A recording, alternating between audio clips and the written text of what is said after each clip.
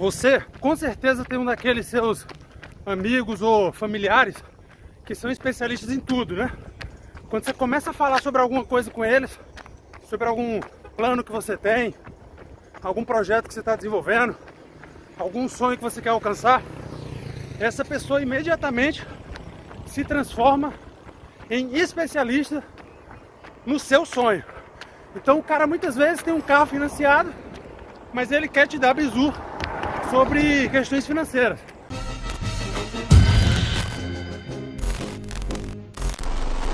Ou então o cara nunca passou no concurso público e quer te falar qual concurso que você deve fazer e como que você deve estudar. Todo mundo tem uma pessoa assim, seja na família, seja no seu círculo social.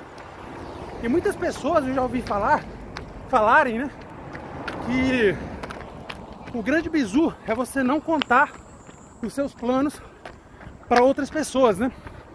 Tenho certeza que você já ouviu muita gente falar isso, né? Eu não tô aqui para dizer que isso é certo ou que é errado, mas eu sou o contrário, cara.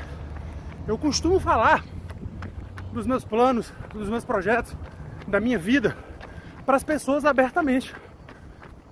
E por que, que eu faço isso?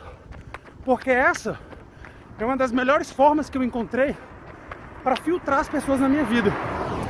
Então, por exemplo, esse final de semana eu conheci a namorada de um amigo meu e a gente começou a conversar sobre os meus projetos, as coisas que eu estou querendo fazer.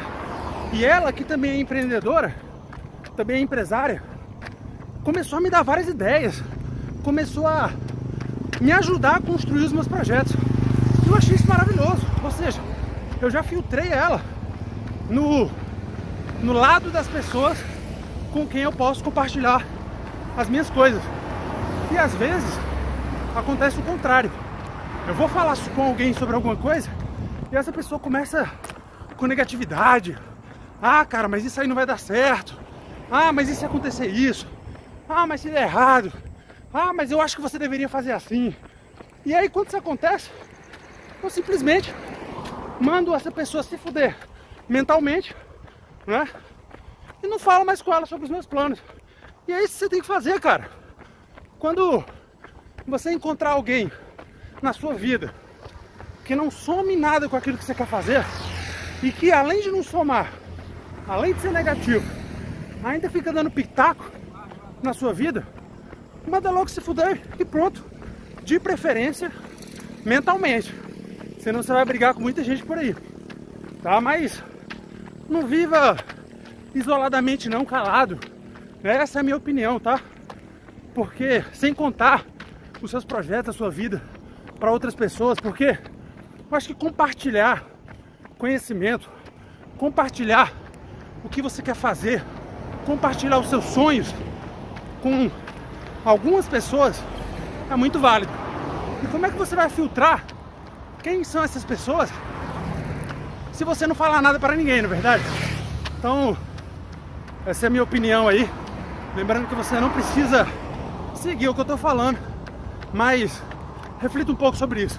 É para isso que servem esses vídeos aqui que eu faço para vocês no meio da minha corrida. Hoje, aliás, um treino cansativo. Eu tô aqui entre um tiro de mil e outro, entre um tiro de um quilômetro e outro, e vou começar outro tiro agora. Beleza? Curtiu? Deixa o seu like. Não esquece de se inscrever no canal. Fé na missão.